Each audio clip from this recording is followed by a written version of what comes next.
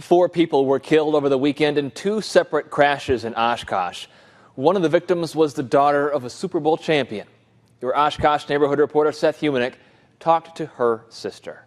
Um, was the like model older sister um, for our whole family. Kaylin Collie is the younger sister of Devin Collie Riley.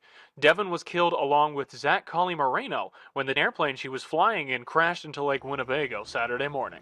Planes were her life. She got her pilot's license and actually met her husband at Oshkosh. She was about to take her commercial uh, this month, actually. Their father is a Super Bowl champion, Bruce Collie, who is also a pilot.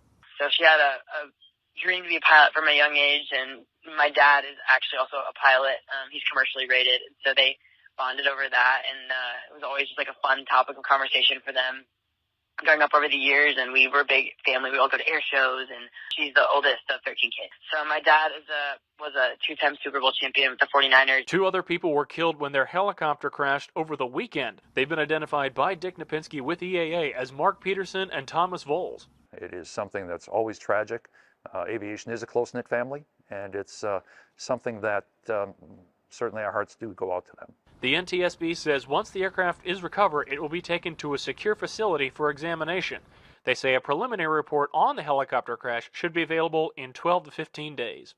The family of Devin Collie Riley has set up a GoFundMe page to help her husband. If you'd like to help them out, we have a link on NBC26.com. In Oshkosh, Seth Humanick, NBC. With more reports.